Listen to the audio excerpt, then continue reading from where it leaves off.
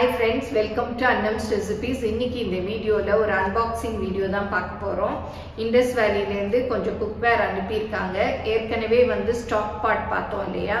அதோட இன்னும் வேற சில பொருட்களும் அனுப்பியிருக்காங்க பாத்திரங்களும். அதெல்லாம் என்னென்னன்னு பார்க்கலாம்.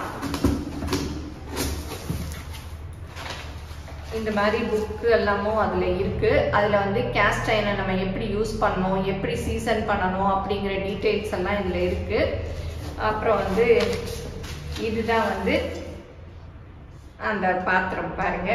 Cast iron kadai. இதெல்லாம் வந்து சீசன் பண்ணியே அவங்க வந்து வச்சிருக்காங்க. அது வந்து நம்ம யூஸ் பண்ணுறோம் இல்லையா? லிக்விட் சோப் அதை போட்டு நல்லா கொஞ்சம் நல்லா ஸ்க்ரப் பண்ணி கழுவிட்டு தொடச்சிட்டு கொஞ்சம் எண்ணெய் தடவிட்டு அப்புறம் நம்ம ரெகுலர் யூஸ் பண்ண வேண்டியது தான் பாருங்கள் ஃபினிஷிங் எல்லாம் சூப்பராக இருக்குது நல்லா இருக்குது நல்ல வலுவலுன்னு இருக்குது அப்புறம் இது வந்து தோசைக்கல். நல்லா பபிள் ரேப் பண்ணி ஒன்றும் டேமேஜ் இல்லாமல் நல்லா க்ளீனாக சூப்பராக வந்திருக்கு. ஒரு இது கூட கிடையாது. பாருங்கள் இது வந்து கேஸ்ட் அயன் தோசைக்கல்.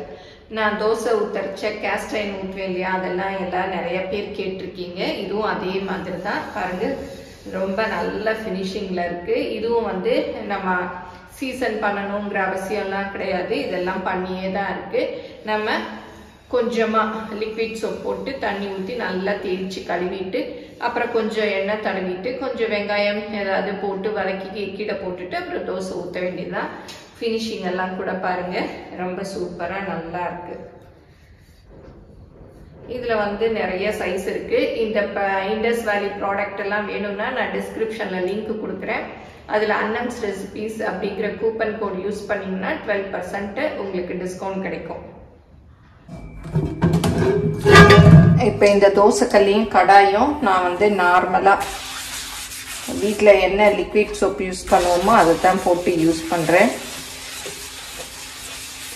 தான் பாருங்கள் ஒன்றும் வரல. இந்த பக்கம் கூட பாருங்க நல்லா இருக்குது ஒன்றும் அப்படி துருவெலாம் இல்லை. நல்லா க்ளீனாகவே இருக்குது இந்த கடாயிலையும் கொஞ்சமாக லிக்விட் சோப் தான் ஊற்றிக்கிறேன்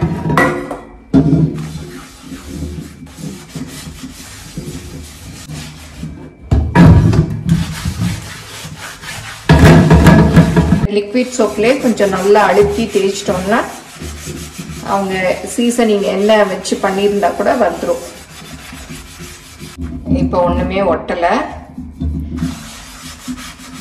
இதிலே தேய்ச்சாலே நல்லா தேய்ச்சாலே போதும். கழுவிடலாம்.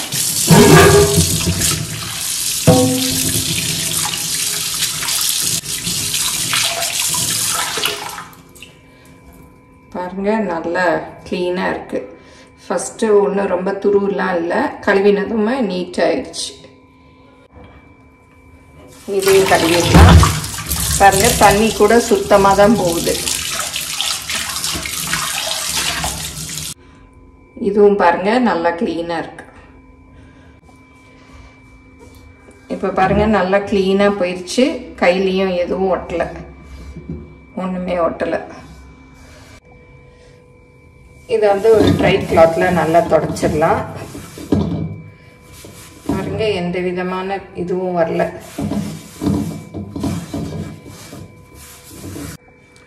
இப்போ தோசை கல்லையும் தொடச்சிக்கலாம்.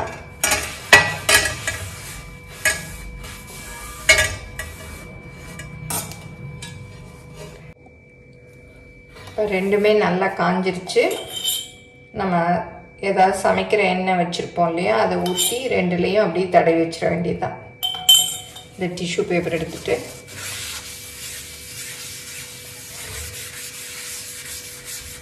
அப்படியே ஃபுல்லும் படுற மாதிரி தடவிடலாம் அவ்வளோதான் இது முடிஞ்சது. இப்போ இதுலேயும் தடவிடலாம்.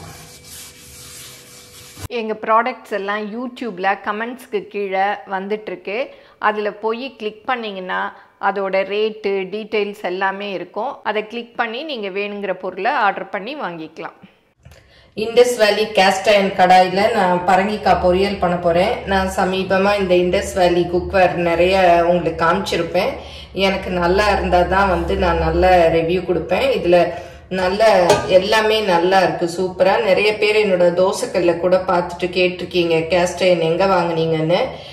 இதுவுமே வந்து கேஸ்டைன் தோசைக்கல் தான். பாருங்க நான் ரெண்டு தடவை சோப் போட்டு கழுவிட்டு இது பண்ணிட்டேன். ஒண்ணுமே கையில ஒட்டல பாருங்க.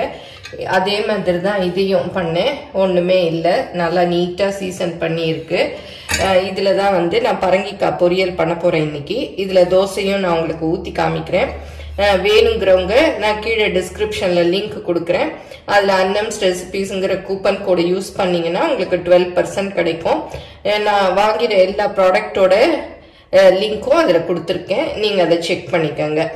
வேணும்னா தான் வாங்கணும். கட்டாயம் இல்லை. நிறைய பேர் கேட்டிருந்தீங்க அதனால சொன்னேன். ஒரு டீஸ்பூன் அளவு எண்ணெய் ஊற்றிக்கலாம் கடுகு கொஞ்சம் போட்டுக்கலாம். உளுத்தம் பருப்பு கொஞ்சம். இந்த மாதிரி பொரியல் எல்லாமே இதில் செய்யலாம். உருளைக்கிழங்கு ரோஸ்ட் பண்ணலாம் வாழைக்காய் ரோஸ்ட் பண்ணலாம். இந்த மாதிரி பரங்கிக்காய் பொரியல் பீன்ஸ் பொரியல் எல்லாமே இதில் பண்ணலாம். இன்னும் நல்ல பழக்க பழக்க துருவுக்கெல்லாம் கூட வராது. அப்படியே நம்ம பாத்திரத்தை கழுவிட்டே யூஸ் பண்ணிக்கலாம். முதல்ல கொஞ்ச நாளைக்கு தான் நம்ம இந்த மாதிரிலாம் தொடச்சிட்டு எண்ணெயெல்லாம் தடவணும். அப்புறம் எல்லாம் நம்ம நார்மலாக எல்லா பாத்திரமும் யூஸ் பண்ணுற மாதிரியே பண்ணலாம். சிவப்பு மிளகா ரெண்டு சின்னதாக பிச்சு போட்டுக்கலாம்.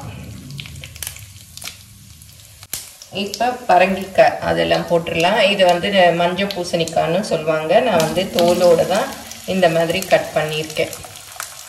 இந்த சைஸு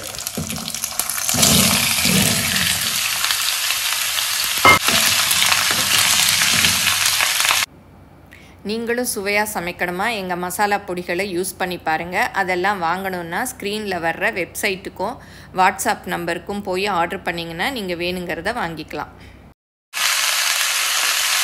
கருவேப்பிலை கொஞ்சம் போட்டுக்கலாம். நான் வெங்காயம்லாம் போடல. நீங்கள் வெங்காயம் வேணும்னாலும் போட்டுக்கலாம். உப்பு வந்து ஸ்ப்ரெட் பண்ணி போட்டுக்கணும். இல்லாட்டா ஒரே இடத்துல அப்படியே இருக்கும். அப்புறம் காரத்துக்கு சாம்பார் பொடி. இல்லை சில்லி ஃப்ளேக்ஸ் பொடி இருந்தால் கூட நீங்கள் போட்டுக்கலாம். நான் வந்து இந்த சாம்பாருக்கு அரைச்சி வச்சுருப்போம் இல்லையா? மிளகா மல்லி அந்த பொடி தான் போடுறேன். நல்ல வாசமாக நல்லா இருக்கும். நல்லா மிக்ஸ் பண்ணி விட்டுடலாம் அந்த மூடி வேக விட்டுடலாம். இந்த கேஸ்ட் அயன் கடாய் வந்து தோசைக்கல்லோட காம்போவாகவும் வருது. இல்லை நீங்கள் தனியாக வேணும்னாலும் தனித்தனியாக வாங்கிக்கலாம். ரெண்டும் சேர்ந்து வந்து ஆஃபரில் வருது. இல்லை உங்களுக்கு கடாய் மாத்திரம் வேணும்னா கடாய் மாத்திரம் வாங்கிக்கலாம். தோசைக்கல் மாத்திரம் வேணும்னாலும் தோசைக்கல் மாத்திரம் வாங்கிக்கலாம். இப்போ அடுப்பை குறைச்சி வச்சிடுறேன். இதில் உப்புமா பண்ணிக்கலாம். எல்லாமே பண்ணிக்கலாம்.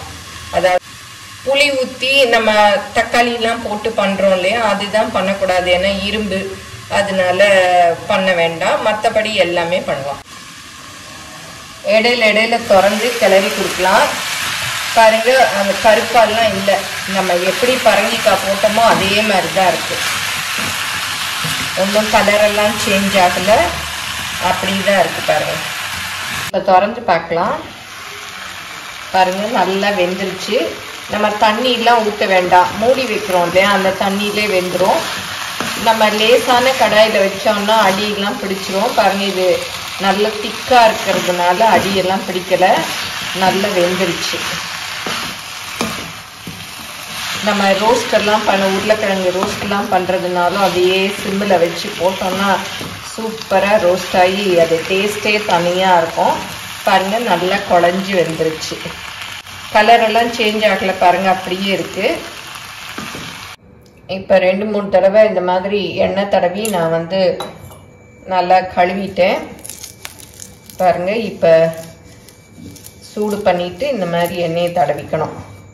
இந்த மாதிரி ப்ரஷில் அந்த கருப்பாக இல்லாமல் வந்ததும் நம்ம தோசை ஊற்றிக்கலாம் இந்த மாதிரி நல்லா ஸ்ப்ரெட் பண்ணிக்கிட்டால் தோசை ஈஸியாக எடுக்க வரும். இப்போ தோசை ஊற்றிக்கலாம்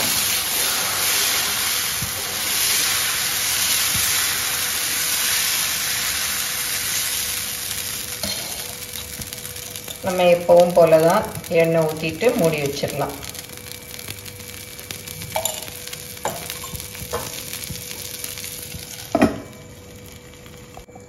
இப்போ திறந்து பார்க்கலாம். பாருங்கள் சூப்பராக தோசை வெந்துருச்சு. பாருங்கள் எவ்வளோ அழகாக எடுக்க வருது.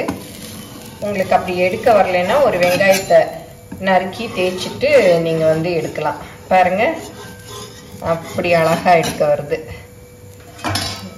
இன்னும் கொஞ்சம் ரோஸ்ட்டாக வேணும்னா இன்னும் கொஞ்சம் நேரம் வேக விட்டுக்கோங்க. சூப்பராக வந்துருச்சு. நான்ஸ்டிக் தோசைக்கல்லாம் தோசை ஊற்றுறது உடம்புக்கு கெடுதல்னு இப்போ எல்லாரும் சொல்கிறாங்க இந்த கேஸ்ட் அயனில் நம்ம தோசை ஊற்றணும்னா அதுவுமே நான்ஸ்டிக்கில் மாதிரி அழகாக எடுக்க வரும். அதனால் வேணுங்கிறவங்க இந்த தோசைக்கல்லை வாங்கிக்கலாம். நான் டிஸ்கிரிப்ஷனில் லிங்க் கொடுத்துருக்கேன். என்னோடய கூப்பன் கோடும் யூஸ் பண்ணிங்கன்னா அன்னம்ஸ் ரெசிபீஸ்னு டுவெல் பர்சன்ட் டிஸ்கவுண்ட் கிடைக்கும். இந்த தோசைக்கல் நான் யூஸ் பண்ணுறச்சு நிறைய பேர் கேட்டிருக்கீங்க. பாருங்கள் இப்போ தோசை எவ்வளோ அழகாக எடுக்க வருது. நல்ல ரோஸ்ட்டாக நான்ஸ்டிக் மாதிரியே வருது பாருங்கள் சூப்பராக இவ்வளோ அழகாக எடுக்க வருது. யூஸ் பண்ணி முடித்ததும் இந்த கடாயையும் தோசைக்கல்லையும் நல்ல ஈரமில்லாமல் தொடச்சி எண்ணெய் தடவி வச்சிடணும். அப்போ தான் நம்ம அடுத்த தடவை யூஸ் பண்ணுற வரையும் துருப்பிடிக்காமல் இருக்கும். இந்த வீடியோ உங்கள் எல்லாருக்கும் பிடிச்சிருக்கும்னு நினைக்கிறேன். பிடிச்சிருந்தா லைக் பண்ணுங்கள் எங்கள் சேனலை மறக்காமல் சப்ஸ்கிரைப் பண்ணுங்கள் உங்கள் ஃப்ரெண்ட்ஸுக்கும் ஷேர் பண்ணுங்கள் ஃபேஸ்புக் இன்ஸ்டாகிராமில் அன்னம்ஸ் ரெசிபீஸை ஃபாலோ பண்ணுங்கள் தேங்க்யூ